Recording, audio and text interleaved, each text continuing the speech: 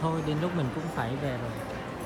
Xin chào, tạm biệt và hẹn gặp lại các bạn. Các bạn nhớ đăng ký để theo dõi video sớm nhất của mình nha.